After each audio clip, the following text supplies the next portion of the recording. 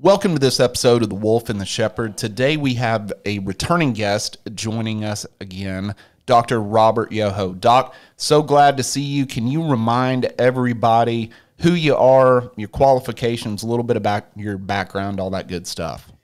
Guys, it's a pleasure to be back. And you don't have to doctor me because I have left the Foreign Legion. We're colleagues here on a podcast, right? So you oh, call it, me Robert. It, it's hard not to call you Doc, though. I understand. it's it's whatever you want. But uh, the first, the stupid disclaimer for the lawyers, right? This is not medical care advice for individuals. Use this stuff at your own risk. Even though I've spent years trying to figure it all out, and uh, so that's the disclaimer. So I'm 68 year, years old, and I spent my whole life practicing medicine and trying to do my best and trying to put the patients first. And I'm like Rip Van Winkle. I woke up after a career in cosmetic surgery where I'm often this eddy or bywater of the entire show, right? And I realized two years before I retired that the whole thing had sort of gone to You know, it was just an amazing scene. The everybody is a money grubber, and all the industry is controlling the actions of the doctors. And so I started researching. First, I got interested in bioidentical hormones because my my patients are, you know, cosmetic surgery practices are all women. And I always tell the story that there's only one problem with the cosmetic surgery practice, one alone, and that's that it's all women. you know, right. Anyway, sorry, that that was maybe con- could be construed as not a, a PC joke, but um, so I was practicing uh, giving. I gave them uh, bioidentical hormones, or I often offered bioidentical hormones if I thought they were miserable with their change of life. And I eventually wrote this uh, um, this uh, hormone secrets book about how that works. And I became impressed with um, just how much the narrative was being distorted by uh, nefarious sources. And these included the FDA, who stuck these black, black box warnings, which is a very serious warning, aftermarket warning on the three hormones that are the most valuable that we've used for 80 years and in one case 120 years we had this enormous ex- clinical experience with these things and they were being slammed by a wall of what I eventually found out was total lies. So I went down that rabbit hole and learned about hormones, and I became curious to see if the rest of medicine was as bad as hormone therapy. And uh, you know, I wrote the, there's a chapter in this book about how how how all the uh, the government organizations uh, cooperate with the pharmaceutical companies to slam these medicines which are off patent they can't be they, they can't get the huge profits so but so then I started reading about one field after another. I read about the insurance companies. I read, I read about all these specialty fields that were were not doing the job for patients and it didn't. And then I eventually wrote uh, Butchered by Healthcare, and I am a small success. I sell 20 or 30 books a day.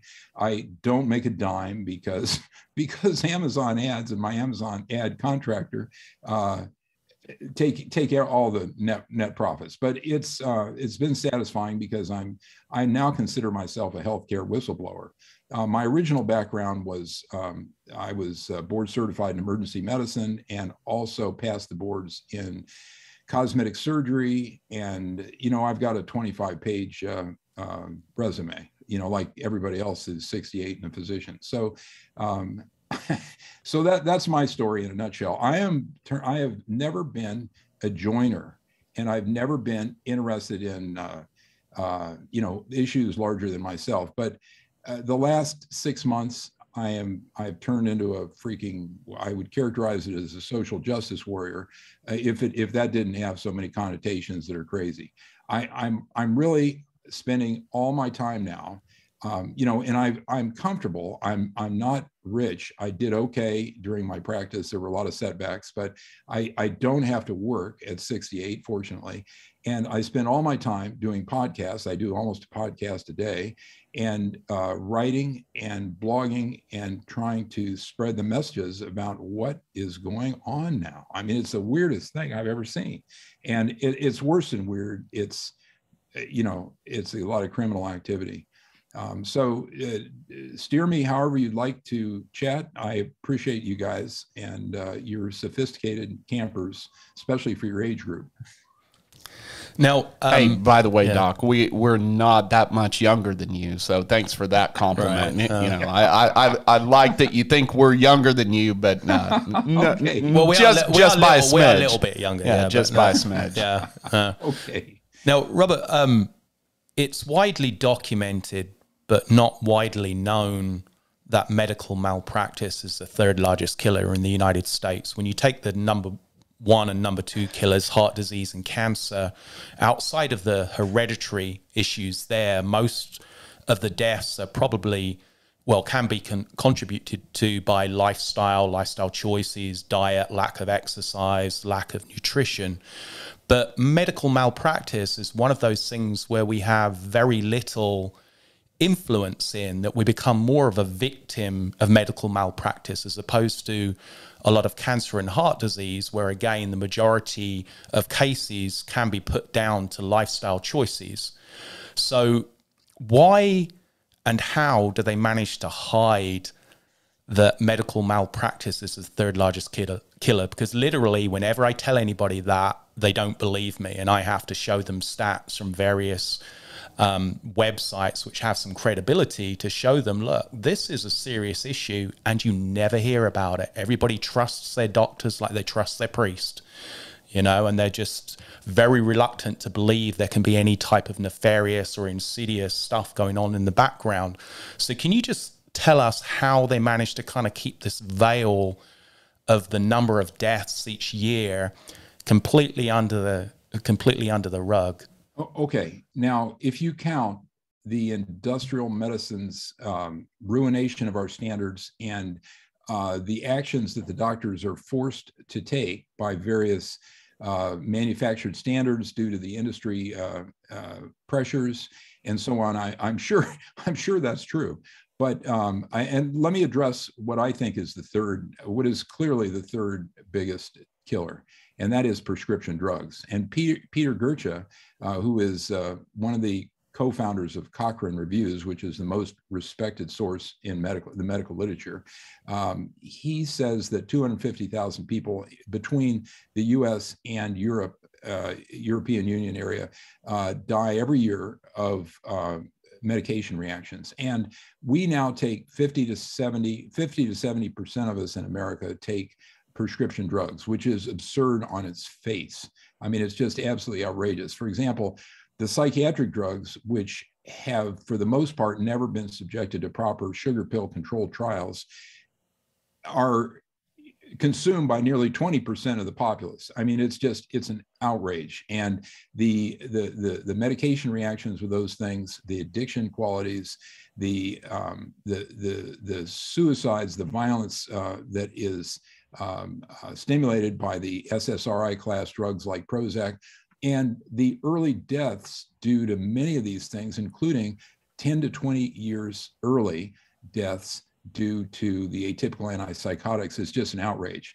Now, let me just address the physician malpractice thing. Okay, so at this point, um, we're commanded by protocols, and many people, most of us work for um, uh, you know, HMOs or large organizations, and the protocols uh, uh, and the standards control our actions. And if we deviate from those standards, you can lose your job, you can lose your medical license.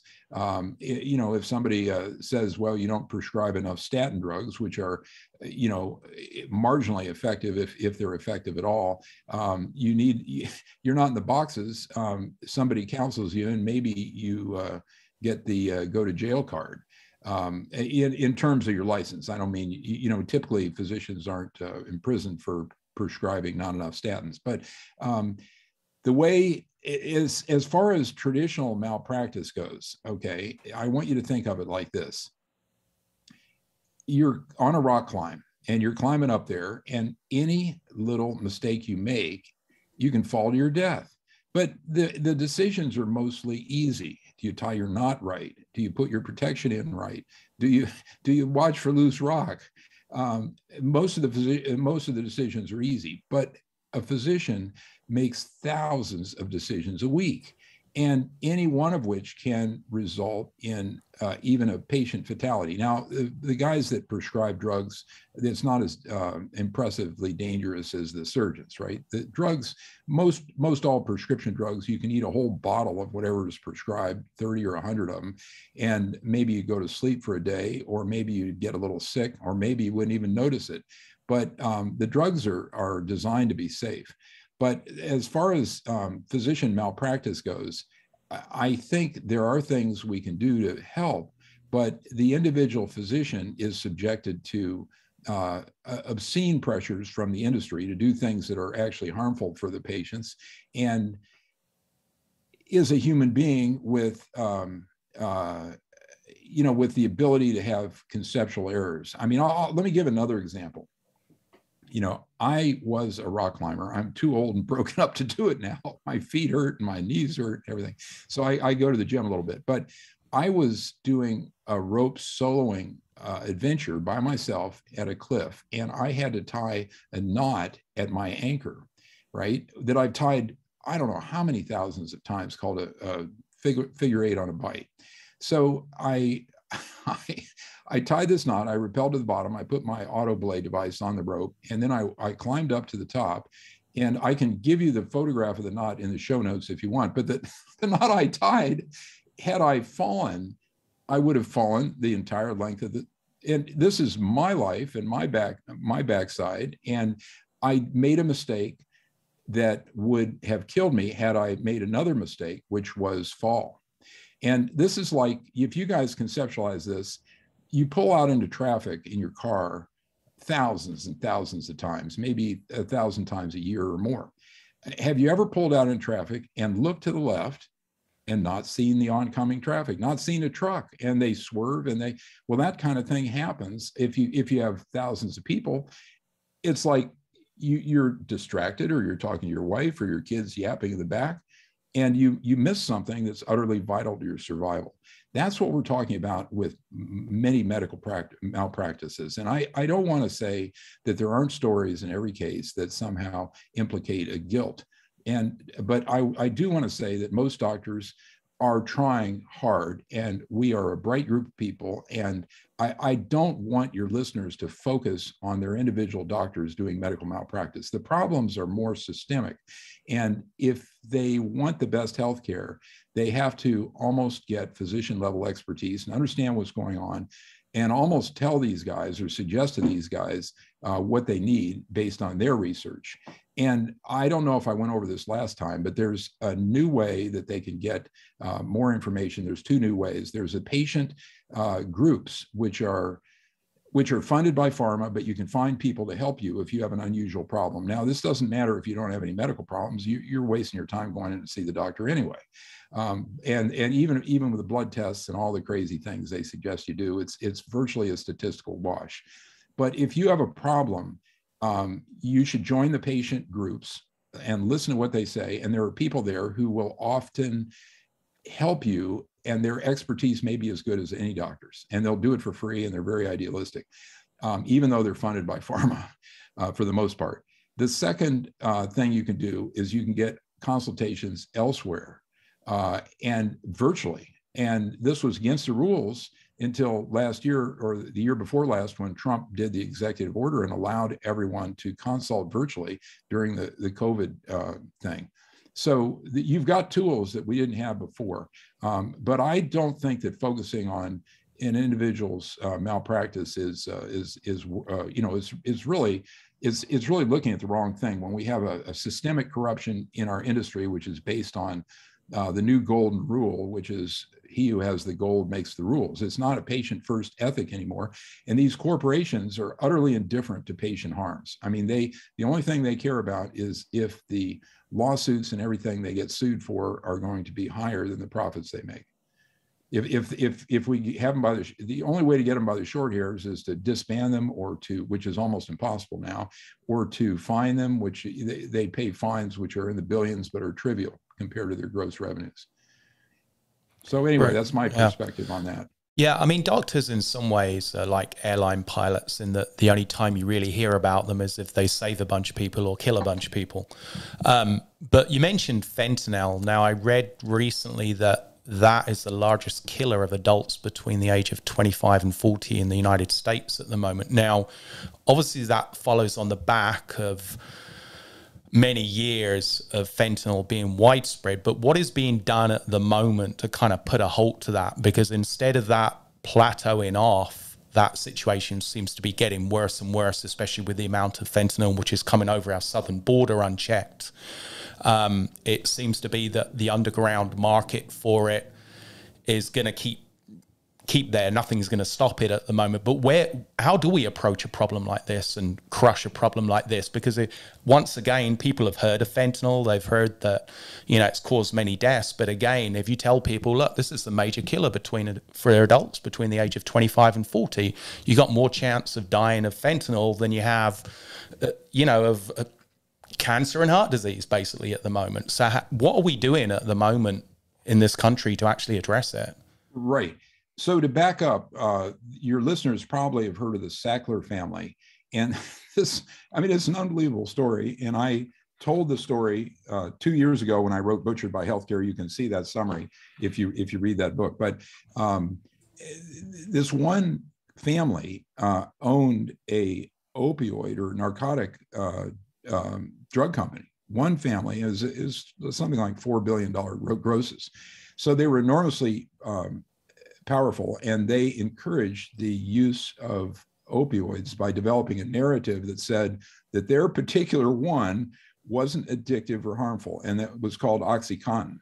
And so, even though this OxyContin only represented uh, five or 10% of the total, something like that, of the opioids sold, it uh, enabled uh, a whole, uh, I mean, it's it, it enabled a decade of escalating opioid use. And um, the fentanyl, the so OxyContin is, you know, they could uh, smoke it or they could eat it or whatever, but it wasn't like fentanyl. Fentanyl is a very short acting opioid.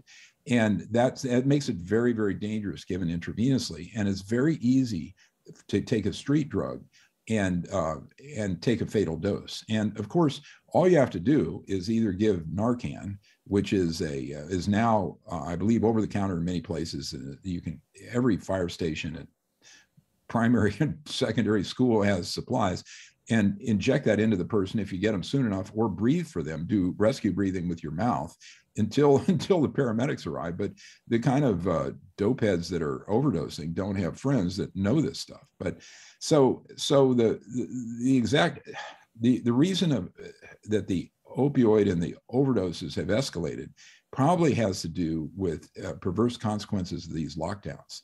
Uh, and, and that's certainly my belief.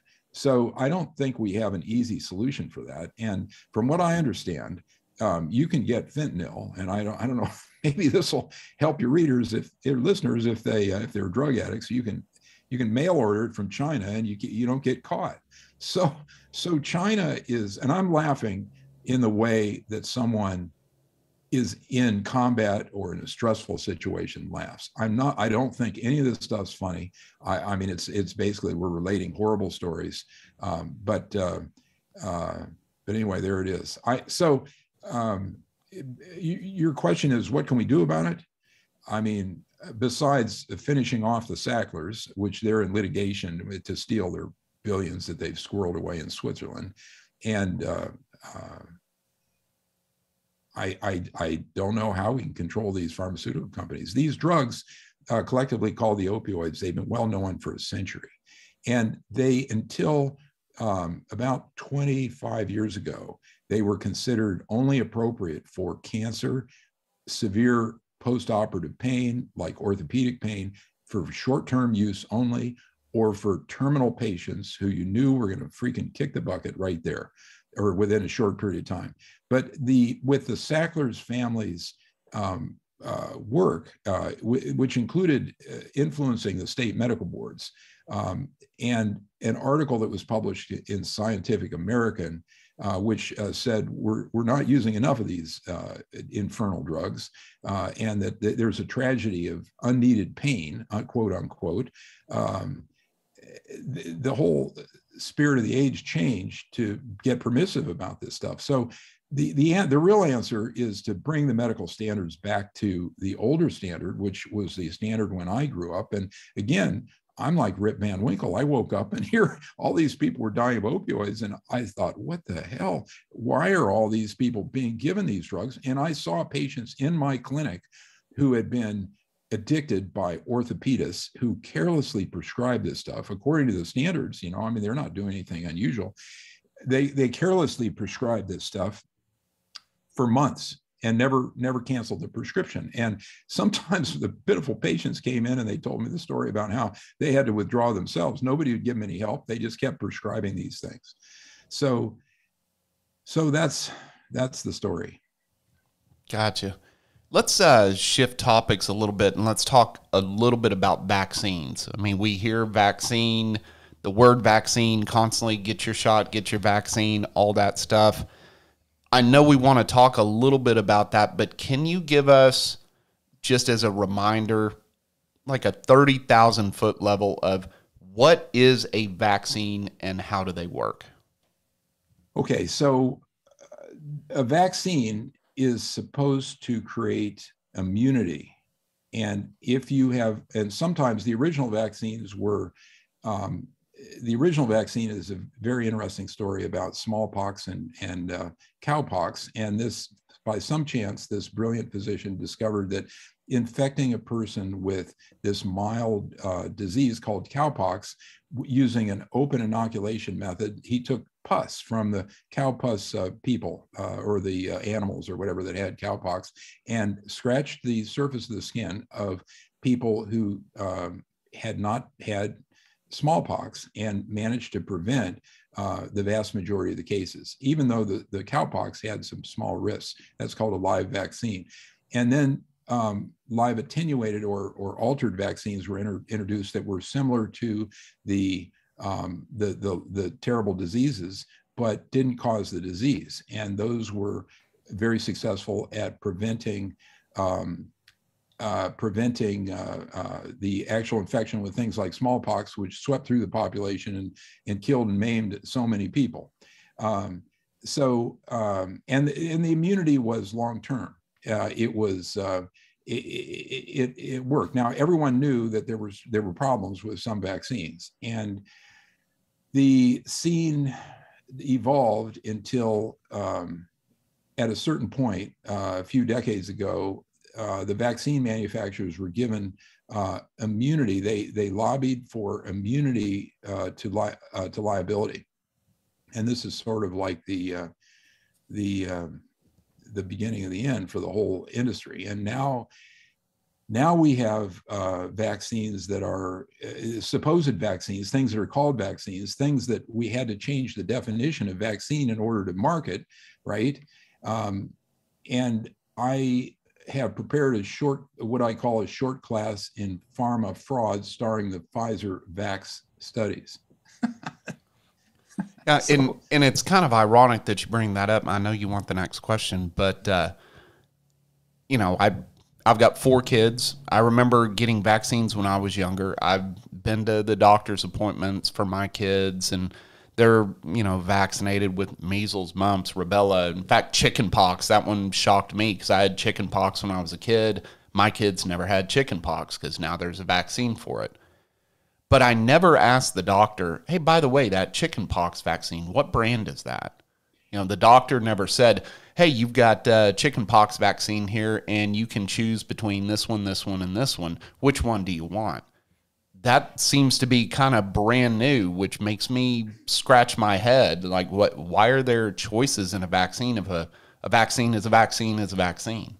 Well, these these guys, and I'm talking about the industry guys, they're piling on, and they're they're they the profits are so large because there's no liability, there's no there's no marketing costs because the government is uh, giving the mandates, so they're tremendously opportunistic and the most opportunistic story, the most absurd story I've heard is there's now a antidepressant which is marketed as a treatment for um, for COVID.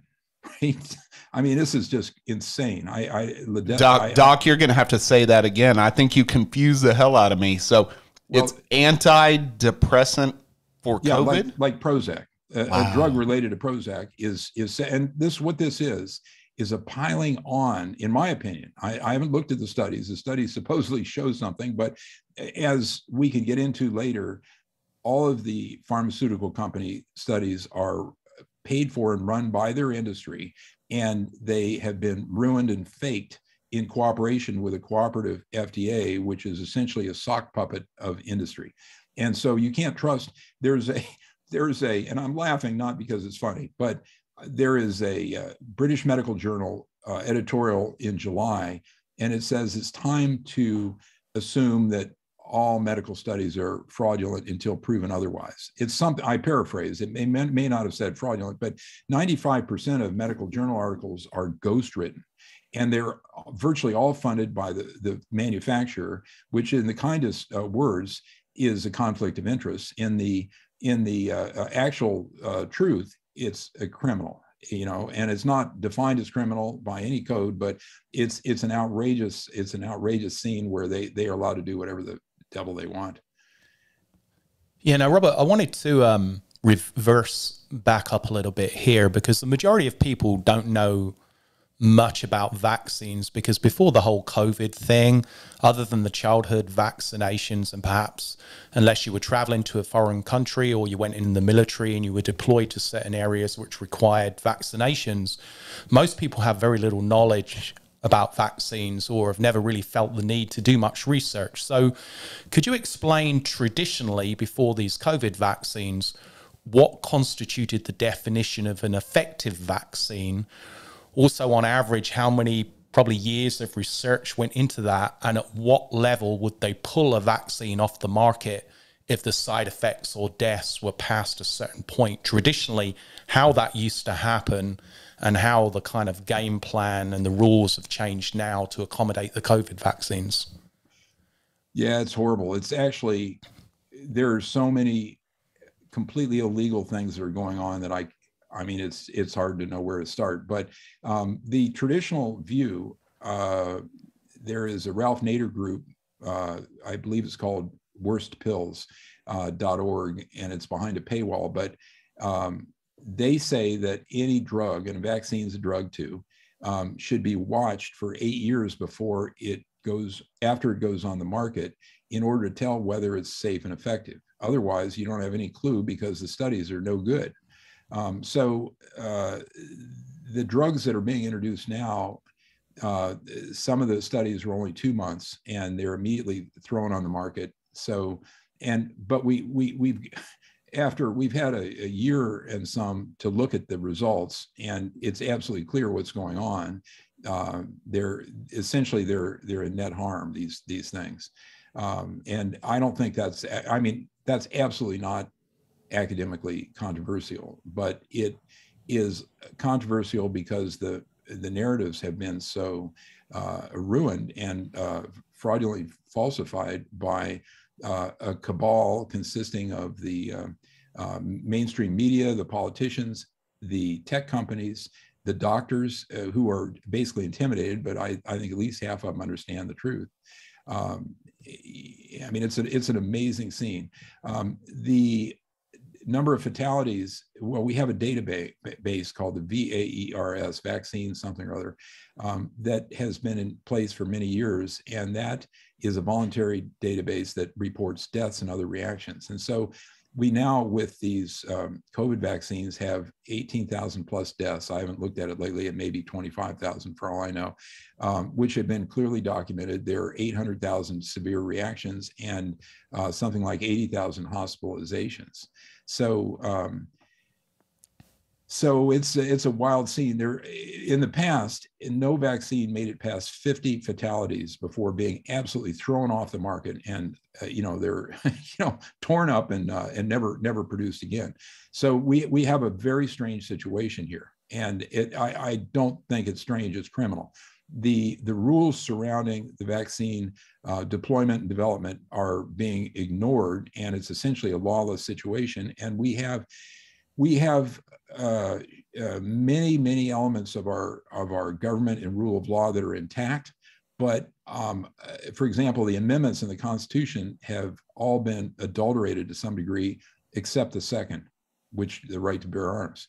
Um, the free speech, which is the most important in the foundational amendment, which uh, which we we base the rest of our legal system on, that is is being destroyed by these private com- companies now, outside of obviously VAERS, you know, and people voluntarily uh, reporting side effects from the vaccines, one very disturbing thing which came to light last year was the rise of myocarditis in young people, especially after taking the vaccination. In an average year, the number of young people under the age of 14, 15 who develop myocarditis and they're not born with it or something has happened is roughly around 600, 700 people. Last year, by I think the third quarter, that number was 17,000 cases of myocarditis in young people in the United States. Now, can you kind of explain what why it is so dangerous to young people and perhaps may give rise to these heart conditions and how it affects young people as opposed to old people and that difference, why it creates heart, heart issues in young people, basically? Yeah. Um, there are schools now. I mean, there you know, I, I think any reasonable commentator understands most of these issues by now and understands that the vax is a net evil for every age group, right? Um, and the young people have a zero chance. I don't think there's a single case they can document of someone with no medical problems who died of the vaccine or died of COVID under 20. I mean, it's crazy. Everybody that's died of COVID under 20 has had some big problem you know, they've cystic fibrosis or some crazy thing. And the uh, there are schools now that have a one percent incidence of myocarditis. Now, the the, the companies, um, their standard operating procedure is to uh, essentially lie about almost anything that doesn't suit their marketing uh, needs and uh, create, I mean, literally tens of thousands of fake stories, just like we we saw with the uh, horse uh, ivermectin and all that stuff. I mean, that was obvious, it should have been obvious to everyone that ivermectin uh, is one of the great drugs in history. We have billions of doses administered worldwide, and it's one of the very safest drugs uh, uh, uh, that's ever been invented. And and it was being run down with this emotional appeal to it being a veterinary drug. Um, but um, put me back on the track, Max. Well, uh, essentially myocarditis. Yeah, myocarditis. Yeah. I mean, you know, for young people to develop that, it's normally yeah. a rarity, but to jump from an average of 600 right. to 17,000, and that's not the final right. number for last year, is obviously a very worrying jump. And again, for any other drug on the market in any form whatsoever, that would have been pulled or pulled aside, suspended. But instead, even after these figures came out, the FDA, you know, issued another, you know, EUA for the vaccines, the emergency use authorization. And again, this is another one of those things which, unless you do the research yourself, it doesn't come out. I mean, there's rumors of, you know, athletes who have been, you know, vaxxed and boosted, you know, collapsing on the um, sports fields, especially soccer players in Europe, there's been a lot of there's been a rash of people collapsing with heart conditions um, after being vaccinated. But again, you have to search for this stuff, and the moment you bring it up, you're labelled as as a conspiracy theorist because you're bringing up facts which, if you've if you'd have brought it up about any other drug in history before this, people would have been like, yeah, that's a concern. We need to examine this. This needs to be pulled from the market, suspended, more research done in to, to ascertain whether this is safe, not just short term, because we've had a lot of ill effects short term, but we don't even know the medium or long term effects from this yet. But because you, if you even ask that question or make that comment, you're labeled as a conspiracy theorist. So, how are the public ever going to know about things like myocarditis if this is continually hidden? And how do you get, I guess, the odds of those risks across to parents before they vax their kids? Who I think the stat was that a child under the age of 18 has 172 times more chance of being kidnapped and sex trafficked than dying of COVID. Yeah.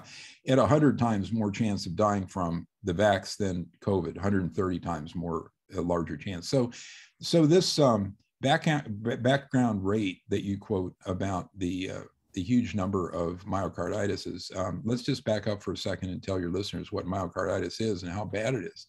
So the heart has uh, little cells in there, and anytime it's damaged, the cells don't grow back. It turns into scars. So myocarditis is a disease that has traditionally eh, almost incapacitated a large number of the people who get it. Some of them apparently recover, but it probably limits their lifespan too. And I think I'm not, I don't have the figure in front of me, but I think around 20% of the people who get my, myocarditis become essentially cardiac cripples and they can't do freaking anything. They're just, uh, they're, they're, they don't, they can't exercise. They can barely walk around. And, uh, and of course they, they die sooner. So the, the companies as is typically their, uh, their standard operating procedure, they're making some claim that ma- makes it sound less serious. They, they say that this, this particular myocarditis is not as big a problem. It's just mild, you know, but we don't know, obviously, because it's, we've got data for less than two years. So, um, I mean, it's a horrible problem and it's only one of, I mean, dozens or hundreds of problems that the COVID vaccine imposes on us. I mean, it's just, it's crazy. I mean, the, people, you know, there have been studies of blood drawn the day after you get uh, the vaccine, and everyone or half of them have some evidence of uh, thrombosis or blood clotting. That doesn't mean they get symptomatic. And these athletes who are dying is it's exceedingly worrisome. And this whole the question of how do you get the real information is you just have to turn off your TV and you can get started in the show notes uh, that I'll supply for you guys. And once you get into that, it's an endless rabbit hole, an enormous amount of information. And I mean, I don't know how anyone with a brain can still believe that the gaslighting being done by uh, uh, by the the the um, mainstream media and the tech companies and and the politicians is not a pack of lies. I mean, it's it's just it's just so so freaking blatant and obvious and entitled. And it is a conspiracy. It's a it's a huge conspiracy. And the idea of labeling it a conspiracy theorist is another form of gaslighting which is trying to confuse your opponent by telling lies about them sometimes behind their back and sometimes to their face so um, we all need to uh, to, to, turn off our TVs and ignore that stuff. I can't stand to listen to it. I mean, it's just so transparently uh, uh, transparently uh, a, a, an agenda to promote this drug and probably to promote ultimately promote uh, Marxist uh, uh, ideologies. And I mean, it's it's just crazy. The further you go, the crazier it seems. But uh, we're facing a, a vast and worldwide uh, evil now. I mean, if you your listeners surely have heard something about what's going on in Australia. I mean, they're having these massive demonstrations, but I'm not sure those guys have got the huevos to do anything about what's going on. I think we do, uh, and I, I, there are there are things things that are happening in America that are encouraging. And for example, I managed to red pill somebody I thought was a complete idiot by sending him a $3 ebook copy of RFK Jr.'s book, The Real Anthony Fauci, and directing them towards Rogan's two interviews of our of our great physicians who got interviewed on there, Rogan and McCullough.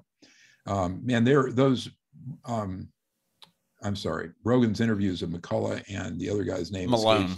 Malone.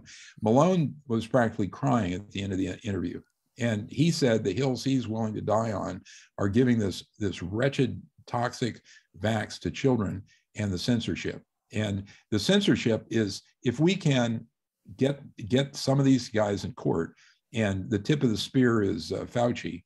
And uh, Kennedy's book is essentially a path to indict that guy and to send him away forever. And he's 80, so I don't know whether he'll even care. But um, he he's got to if if that if all his crimes went to court, it would be obvious to everyone uh, a lot of what's going on. I in talking about we got to get away from the TV, right? I mean, I totally agree with you about the only television I watch anymore is the Dallas Cowboys.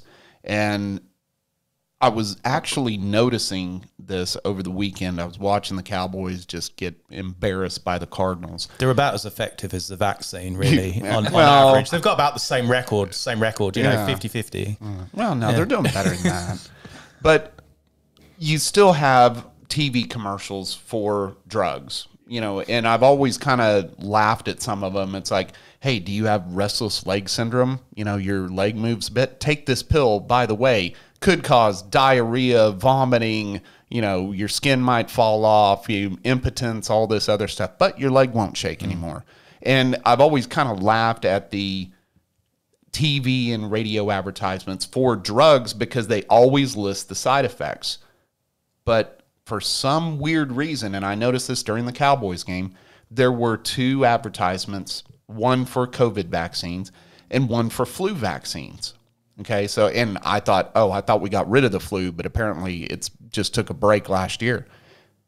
Why do we not have that list of possible side effects with advertisements for vaccines and we do for other drugs. Well, I mean, there are sorry, Robert. There there are actually only two countries in the world which allow right. pharmaceutical companies to advertise on TV. That's the United States and New Zealand. And in New Zealand, it's actually pretty well regulated by their equivalent of the, no. you know, TV monitoring people. But here in the United States, there isn't really that close uh, kind of thing. They can't make claims like this will help you to fly and live to 400 years old, but past that there's very little. But obviously, you know why, um, Robert. If you can explain to us how they're allowed to get away with what they put on TV. Well, it it has to do with uh, the the legal development of it. Uh, seems to be uh, part of the free speech, and it was uh, kind of partially litigated in the late uh, before the turn of the century, and then they the whole thing gradually built up to the point where about half of the advertising spend is now um, pharmaceutical companies, and uh, they are supposed to put the uh, side effects in the ad, but these people they pushed and they pushed and they pushed, and you know you've heard the thing about a pig and pancake. You know that's a, a children's uh, book about uh, essentially uh, problem behavior. And if you give a pig, pig a pancake, he's going to want syrup on top and then cherries on top of that and so on and so forth. So, so these guys have taken advantage of our well-meaning um, uh, system and eh, the, the, not a single academic would ever admit that DTC or direct consumer ads are, are a good thing. And the unfortunate thing is that these ads get used as fillers in other countries where they don't even have uh, enough time for their, they don't have all their, their, uh, their advertising paid. And the idea that the vax is, uh, you know, the quote vaccine, unquote, the unvaccine, I think it should be called, is allowed to uh, advertise without the uh, um, without the side effects and the problems, which would uh, take an hour for each each uh, ad, uh, it's it's an outrage, and uh, it's part of our uh, regulatory slip or our lawless situation which is inhabiting our our our, our country now. I mean it's the, the the legal basis with i'm not an expert on the law but the legal basis for these things um, you know their use is absolutely uh, without foundation. And they they're they're they're just pushing as hard as they can to make as much money as they can before before the whole game collapses. And there's no more musical chairs to sit down on and our currency becomes inflated and so on and so forth. These companies these companies are utterly without um, any calculus but their own uh, net revenues. And they don't mind paying fines or anything else. They know they can't be taken down because the federal prosecutors are not powerful enough to do it anymore. They, the last the last big company they took out was Enron, and remember they put a guy, a couple of those guys in jail. They broke up Enron. They uh, damaged Arthur Andersen. I don't know exactly how it all worked, but um, there's a book called The Chicken Shit Club by Jesse Essinger, Eisinger, Eisinger, and uh, the, the concept here is that um, we should be and I hate to use a Chinese proverb, but listen to this. We should be killing a chicken to scare the monkey. right and so so if we broke up one of these companies we put all their officers in jail we destroyed their uh, stock market uh, and uh, fired all the people the rest of them would take heed and but they're not able to do that anymore because they just don't have the firepower. Even a federal prosecutor, who, if they go off after an individual like Max, they can do anything they want. They can shake you like a rat. but a big company like Pfizer, uh, they basically can't muster the legal power. And the additional problem is uh, is a regulatory capture when these uh, prosecutors are offered millions of dollars uh, a year in these jobs when, when they when they quit being a prosecutor and making their sixty thousand. So Eisinger said defaulting to a settlement without prosecuting individual corrodes the rule of law and corporate officers possess the ability to commit crimes with impunity.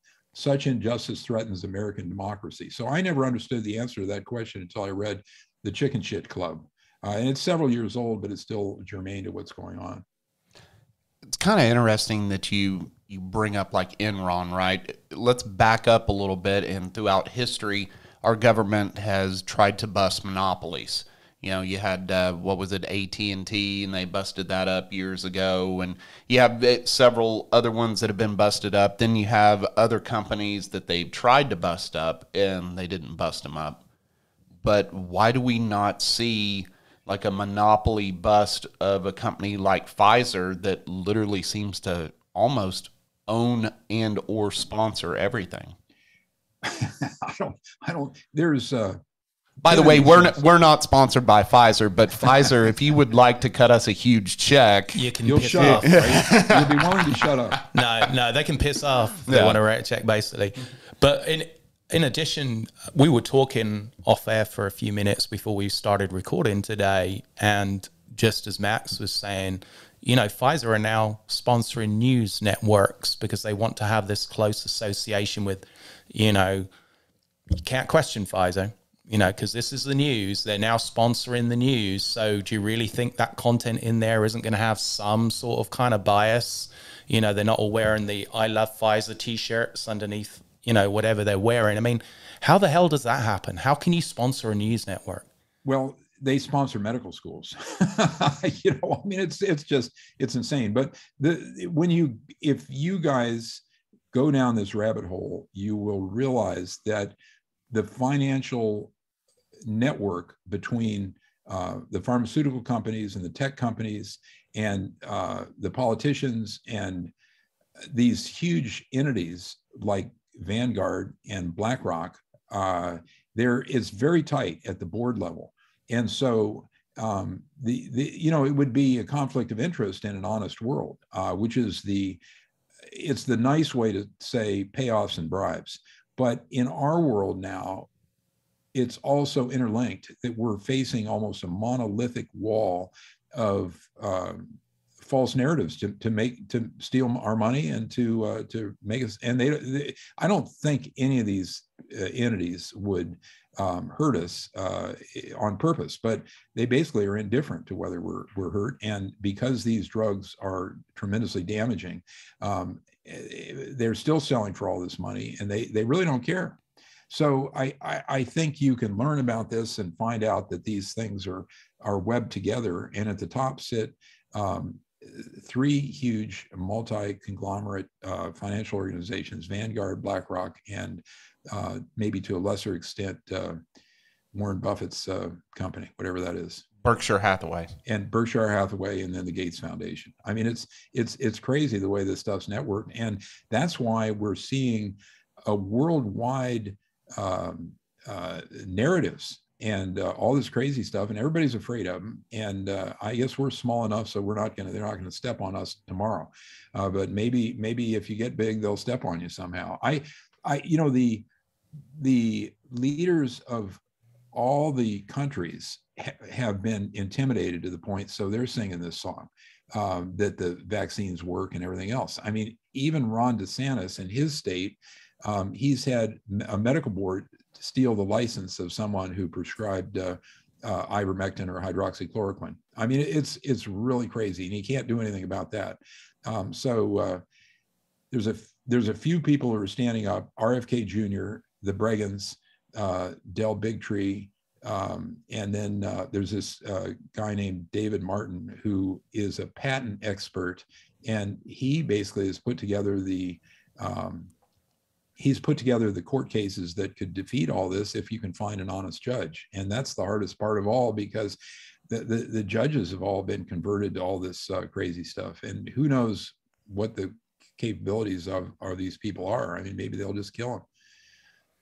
But so far, we're not Hong Kong. We've still got free speech. We've still got uh, the ability to publish on Amazon a book like RFK Jr.'s The Real Anthony Fauci, um, despite the fact that uh, you know there's no promotion of that on the New York Times list. It is likely the worldwide bestseller seller for the, a full month now, and I suspect will continue to be for months to come, because the the important information is so uh, it, it's it's so on point to what's going on, and everybody's trying to figure out what WTF is going on, just like we are. Well, I think that's our problem, right? I mean, nobody knows what to believe anymore. And so it's obviously easy to take something like what we're talking about and say, oh, it's these fringe guys on this podcast. You know, don't listen to them. Listen to us. We're the media. We're the news. By the way, we're sponsored by Pfizer. Uh, so you know, we listen to us. Don't don't listen to these guys. Uh, Pfizer is probably the most criminal organization in history as measured by their settlements with federal prosecutors. And that's the only measure we have because they never sent anyone to jail. They never they never uh, broke them up. They never did all the things they should have done. But the best they can do is compromise these uh, these companies with uh, with settlements. But pfizer has a 50 billion dollar gross revenues and the biggest settlement they ever got out of them was less than 3 billion. I mean it's it's crazy.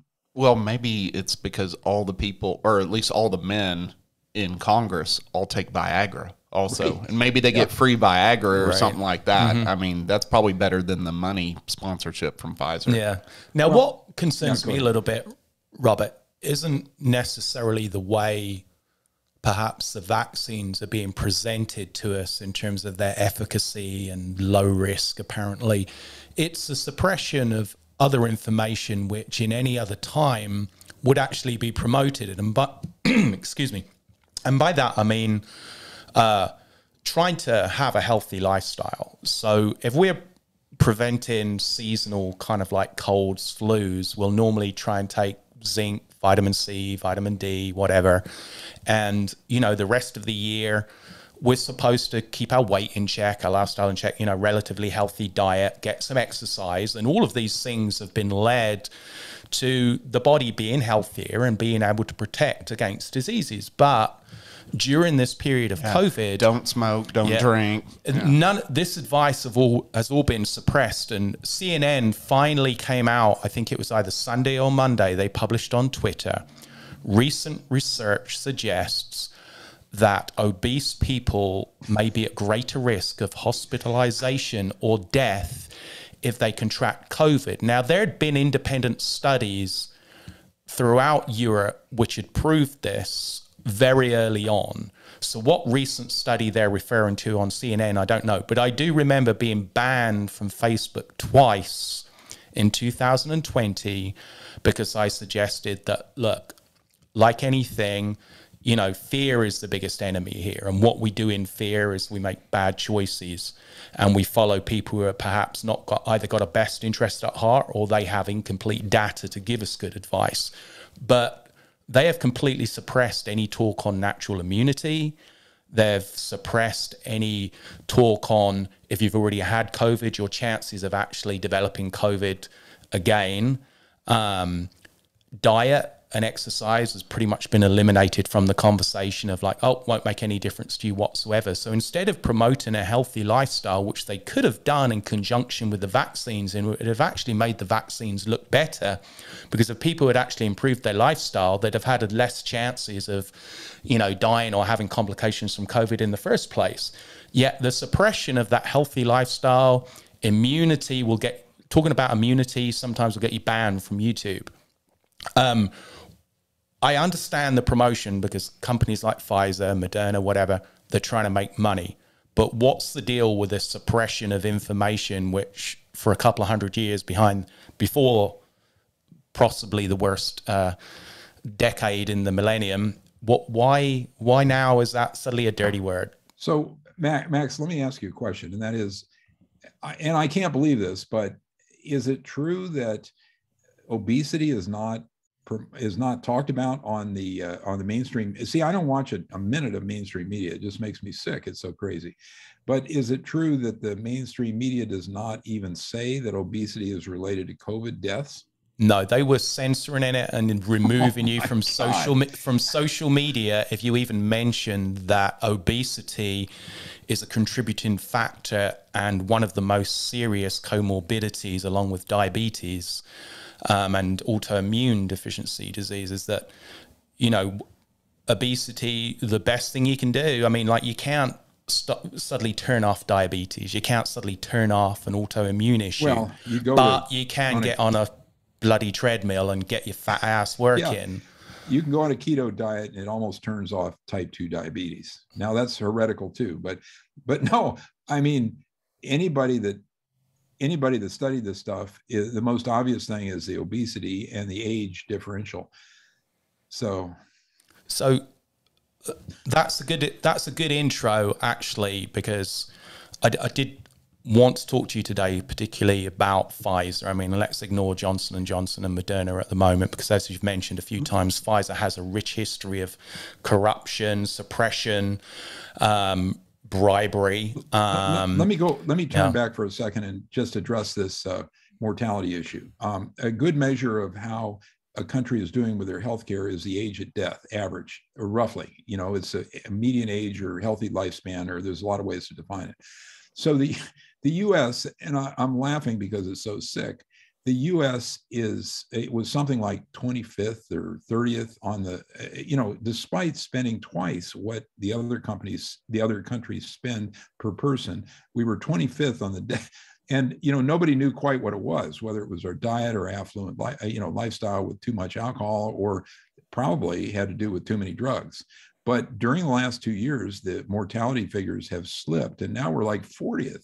So, and the reason why we have, um, we have, I, I think it's, I, it's uh, 40, 25 or 40% of the fatalities in the world from COVID, and only, uh, we're only 5% of the population. It's like a, a big mystery, but the, the reason is our, our response has been so bad. Now, it may be because we're fatter, but there are a lot of other fat countries.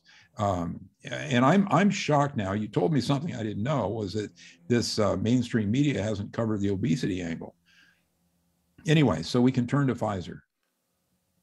Yeah, let's shit on Pfizer. well, Pfizer from a hot air balloon. yeah. So I'm going to sort of tell you. I'm going to I call it duckery, right? That Pfizer does with their studies. Now, this is not solely related to Pfizer.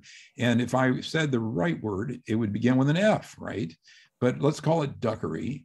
And uh, the new and so no, no offense to ducks, by the way, because no. we do like ducks. We like ducks.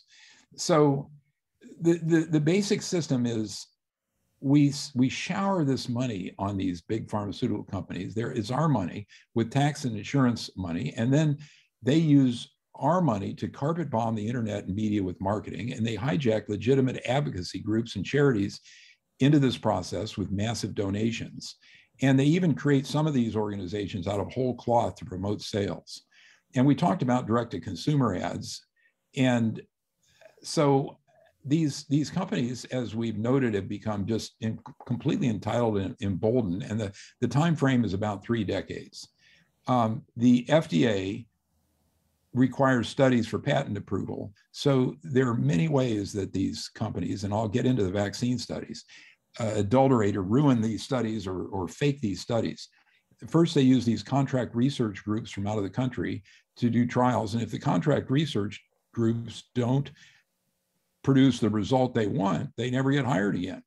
Um, the mathematicians, the internal mathematicians, uh, do some duckery with the uh, data that comes up, and then their ghostwriters write the studies. Uh, and so the FDA is, uh, Kennedy calls them a sock puppet of um, the pharmaceutical industry because more than half of the FDA's funding comes directly from corporations through user fees, which is uh, they're incurred during, and this is since around 2003. There were a lot of people that thought this is a really bad idea, and of course, it has been a really bad idea. So they pay these prominent physicians to stick their names on the papers as authors, and the medical journal experts get paid directly by the pharmaceutical companies. This is open, and for somehow somehow it's legal. They get paid hundreds of thousands of dollars each uh, a year, um, and they basically do whatever the pharma pharma wants. And then um, the corporate funded advocacy groups disease monger, and that means make something really scary. And we've turned a whole country into a disease monger with this COVID thing. Um, so, you know, the horror stories and fear is spread. And I mean, obviously, it's a lot worse today. Can you tell us how, when a new drug is coming to market, the data which is collected, the tests which are run, the blind studies, double blind studies, placebo, all that, who owns all that data? Who has access to that data before a drug is actually released? And once it's released, how hard is it to actually get access to that data if side effects start arising? It's see, even though we give the money to the pharmaceutical companies, they own the data because they did the studies. And eh, for example, the HPV vaccine, which is the human papillomavirus vaccine, which supposedly prevents uh, cervical warts and cervical cancer, um, the half the data was concealed and the studies were never released. And in the case of the, vac- the these uh, quote vaccines for COVID, um, they the study is is buried in the in the text, and a lot of it was not clear, which I can get into later. But this uh, Japan completely rejected the HPV vaccine. Um, Europe and the U.S., where the pharmaceutical companies are much more powerful, um, uh, ubiquitously uh, uh, administer this stuff to their kids. And I think when somebody lies to you about one thing, you have to realize that everything they say is a lie or questionable. And uh, concealing this data is a lie of a kind. And uh, so, so anyway, 75% of the drug makers' worldwide profits and nearly half of all medication spending came from the US. It's only 4.3% of the world population. And here's an example. The uh, anyway, it's it's a surreal situation. The, the most surreal thing is in 2003, Congress passed a law stipulating that Medicare, the world's largest drug buyer, could no longer negotiate prices with corporations. So this is why the prices here are so much higher than the rest of the world. I mean, just grasp that for a second. The deal was they were allowed to pay 106% of the company's average wholesale price. It seemed reasonable, but it allowed them to price fix. And uh, even the VA, which was not part of the deal, pays about half of the Medicare rate for each medication. I mean, it's it's just a crazy thing. So the most surreal part of that whole scene, and maybe this is off topic, but listen to this for one second. Half of these pharmaceutical companies are not even based in the US and don't pay our taxes. So this law allowed these outsiders to gouge us right along with the domestic corporations. I mean, it's um, crazy.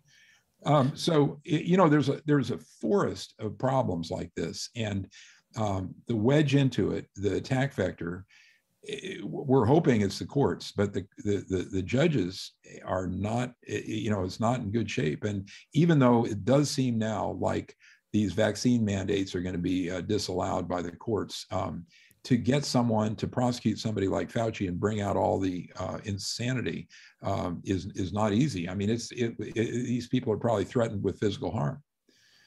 Can we go back in time for a little bit? And I'm going to tell you this picture of what I picture a doctor doing, and then you're you can tell me whether or not this is true or not. But I always pictured that you know drugs are being developed, and doctors like you you get little newsletters or or the journals or whatever it is, and you read about this and you say, hey. So and so is developing this drug for, eh, we'll just call it restless leg syndrome and I'm a restless leg syndrome doctor. And so I'm looking at this and I'm saying, well, this is how I treat my patients now. Oh, this is kind of interesting. And you, then you hear about clinical trials, and then you tell your patient, hey, there's this new drug. We can do a trial. It's not really official yet, but you got to sign all these documents saying, hey, we don't know what this is going to do to you. You know, you're part of the clinical trial and this, that, and the other. And maybe you get the placebo, maybe you don't.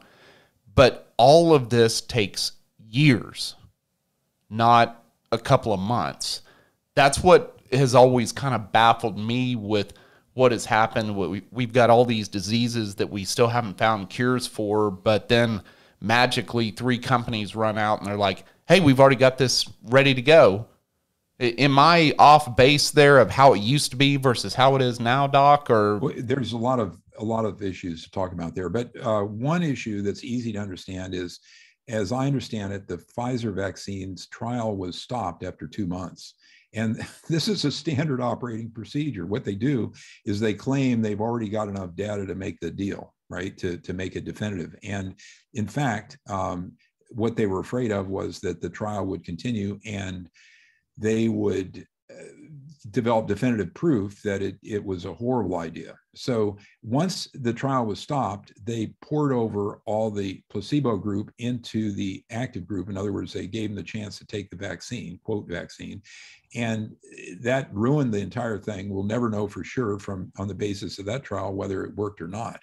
Um, there, there's multiple duckery going on with the with the uh, Pfizer vaccine trials, and um, I mean, it just goes on and on. But uh, let me answer another part of your question before we get into that.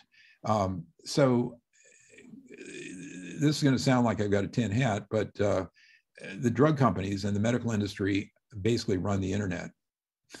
now, I, I said that for emphasis. Okay, so so does that also mean Al Gore heads all that up because he invented yeah. the internet, right? Really, and so it, so he's actually in charge of our all the pharmaceutical companies who run the internet, right? I said I said that for emphasis. Okay? Ah, but, gotcha. But the Wikipedia, for example, is under daily attack by armies of ghostwriters who try to rewrite the narrative.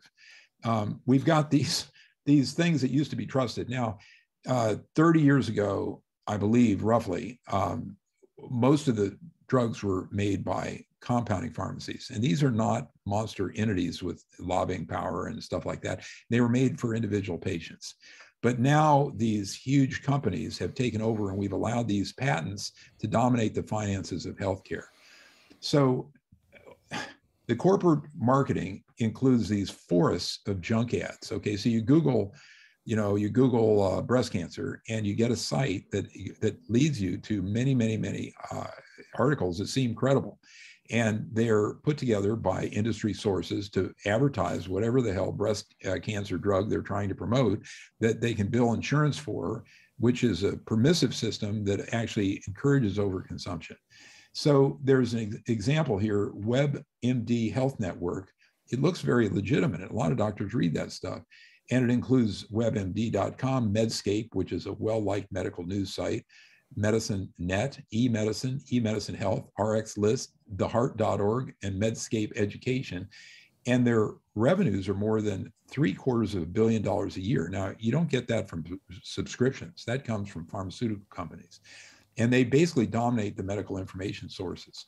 And Chuck Grassley, who's a senator who investigates this stuff, and he's, as far as I can tell, fighting for the True Blue and American uh, Right, he said they're, quote, shilling for the pharmaceutical companies and are a source of pseudo medicine and misinformation.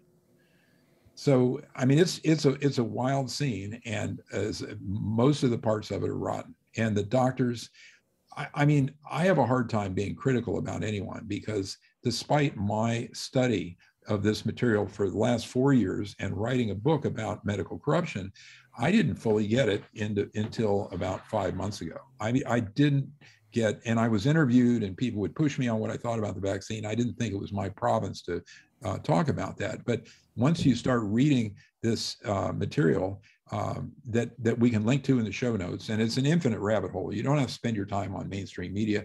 You can even go. You can even watch TV on uh, RFK Jr.'s uh, TV network. Um, and well, there's funding on the right side too. And I don't mean right politically, I mean correct side. So there are, there are billionaires now that are trying to uh, fight all this stuff, but the majority of the uh, funding is now uh, now trying to basically take away our, our rights and uh, steal everything we have and destroy our currency system and uh, and so we'll we'll see how it all comes out. We don't have any fight. Uh, we don't have any choice but to fight. I mean, people ask me if I'm courageous, but when you have one foot in an alligator's mouth, and the thing is chewing your foot off, what do you do? You don't have any choice but go for the eyes or do something. You know, I mean, you you better fight because you, the other choice is just get eaten. Yeah, I guess one thing which is quite concerning is, you know, the government and the pharmaceutical companies basically recusing themselves from any type of litigation should there be short term, mid term, long term side effects from these vaccines and boosters. Why has that not kind of raised more suspicion, you know, socially that somebody would actually try and cover their ass before something's really even widespread use? And also, how effective is that? I guess um, immunity, if it really comes down to it, and across years we end up with hundreds of thousands of kids with myocarditis because of these vaccines and you know VAERS reports that literally millions of people across the world are vaccine injured from these vaccines is there still a way to actually sue these pharmaceutical companies and the government despite their self self immune uh, status Look, I, am going to use some examples to illustrate for your listeners what's going on. They've probably heard of remdesivir, which is approved for COVID treatment. And we don't know why they approved it because it kills 25% of the people who get it. I mean, that's what they take you in the hospital, and the hospitals get incentivized at every step. They get incentivized for giving remdesivir, they get incentivized for testing a positive patient when they, and quote, admitting a COVID patient, and they get incentivized when they die, about $100,000 a patient. Uh, but remdesivir was approved because it doesn't work. Now, just wrap your head around that for a second. Because it doesn't work, it doesn't make the vaccine, the experimental vaccine effort illegal. How do you like that? You got that? It was approved because it doesn't work. At least that's the theory um, we it, it's completely irrational to have it even in the treatment armamentarium or give to anyone because it's it kills people night and eh, all the time. So the other question is is why is this big push to give the vaccine to little kids? You understand that or not? No. The, the reason is that if those bastards get approval to vaccinate little kids, all liability removed for the entire program is removed. All liability is removed for the entire program. So that's why they're talking about 16 to 18 year old kids being the first attack vector here. And because they're pediatrics, they're they're they're in the little kid class, and if they get their the, the vaccine approved for them, which I don't think is going to be that hard given the sock puppet nature of the FDA, um, the liability is permanently removed for the entire program. Okay, why? It, that no, that I don't get. Yeah, but statute, but why just? Oh, okay. So we it's passed a law. Our our representatives yeah. passed a law that if we give it to the kids, now yeah. everything's good. So the third riddle is why aren't people who are entering the U.S. illegally offered the vax? Yeah, this is horrible. Oh, are they not? No, no, no. They, no, no. The, southern border. Um, I don't know whether it's a human rights issue no, from the U.S. It's um, not. But we're, I'll give you they're not they're not even they're not even testing, let alone oh. vaccine, and then they're flown to various places in the United States. But just to backtrack a little bit there, this is something I thought of earlier but forgot to ask. It was been widespreadly reported right since the beginning of the pandemic that kids very rarely come down with severe symptoms of COVID unless they have severe comorbidities right? I think there's been about maybe one or two cases where kids have died from COVID because of a combination of respiratory and vascular issues, which were unforeseen. But parents have known this because this is one thing the news networks didn't actually hide that kids very rarely come down with symptoms and most of the time they're asymptomatic. So can you explain the difference if you're asymptomatic in the viral load you carry if you have COVID as opposed to somebody who actually has symptoms? Because if kids are carrying a reduced viral load and there's less chance of being infected by a kid, and there's very small chance of that kid dying. In fact, more of them are likely to be astronauts than dying of COVID. Um, what why has it been so easy to convince parents to go out en masse and vaccinate their kids when they've already had the knowledge doesn't really hurt the kids? Okay max you have a you have a talent for asking excellent questions but they're usually a couple parts. So um, the first uh, thing that i should probably address is uh, this asymptomatic infection right? And the answer, the, the question is, is that important or significant? And the answer is that eh, the virus has never been found to teleport. Okay, just wrap your head around that. Even though Pfizer claims that they have a statistically significant study proving that the vaccine teleports. Now that's What a you- joke. You mean, That's a you mean joke. like you mean like quantum entanglement? Yeah, you or know, like like yes, yeah. Star yes. Trek. That's Yeah. a joke. That's Yeah. a joke. That's a joke. But if you are asymptomatic, Sad thing is, it's probably believable nowadays. Right, yeah. I mean, let's be honest. Eh, but the point of it is, if you are asymptomatic, you cannot transmit the the the, the disease. I mean, it's it's a ridiculous prospect. This idea of asymptomatic transmission, and if you are asymptomatically infected, you're getting a free ride to total immunity, lifelong or nearly total immunity. The Omicron variant, you might be able to get that, uh, but not the other variants. And it's the the the Omicron is just a cold. Omicron is going to free us from the the bonds of this media uh, horse manure, you know, and uh, and and uh, political uh, crap, and the, the tech companies, and hopefully it'll dis- discredit the whole narrative. But I mean, who knows? Um, so that was the first part of your question. Remind me of the second part. Um, second part was how of the public which were um, alerted to the fact that kids suffer very little from COVID early on, have they suddenly been convinced to rush out and get their kids vaccinated? Has it been actually, as you just mentioned, that suppression of uh, information that kids, if they're asymptomatic, can't carry it anyway, and so parents are seeing Can't their kids. Yeah, transmit seeing their Yeah. kids as these like little super spreaders who are going around, you know, hugging everybody at recess and coming back and killing grandma. But how have parents been just completely hoodwinked across the space of months about, oh, now that now, you know, an infant can get it, now the infants are okay to have boosters and all this stuff. I mean, I'm not sure that's true yet, but certainly the boosters have been um, authorized for, you know, quite young children in retrospect. But how how have parents just been convinced by this crap? So, uh, you know, when you're getting interviewed, you answer the question you want to answer, right? Rather than the question, right? But you brought up the super spreader idea. And the super spreaders have been now proven to be the vaccine recipients. And I know it sounds crazy, but those people are more vulnerable to getting Omicron and the other variants. And they seem to be spreading the virus much more than, and, you know, again, you have to be um, you have to be symptomatic to get a droplet in the air. The stuff does not teleport, and even even though my joke about Pfizer uh, producing a, uh, studies claiming that it was statistically significant that it teleported, doesn't teleport. Now, uh, how the how everyone is getting convinced about this narrative? It seems like the best um, estimates now seem to be uh, 30 to 50 percent of the country is absolutely hypnotized by this thing and the psychologists are trying to explain how it happened.